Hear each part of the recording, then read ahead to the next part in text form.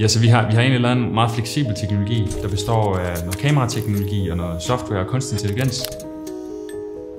Vi har nu valgt at anvende den ude på genbrugspladserne, hvor rammerne er egentlig enklere, fordi vi sådan set kun skal håndtere kundernes affald et, et enkelt stykke ad gangen. Men teknologien kan skalere til, til mange forskellige use cases og anvendelsesområder.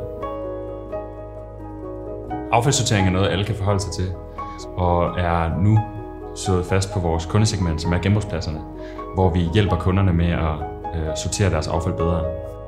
Behovet for teknologi inden for affald er jo kæmpestort.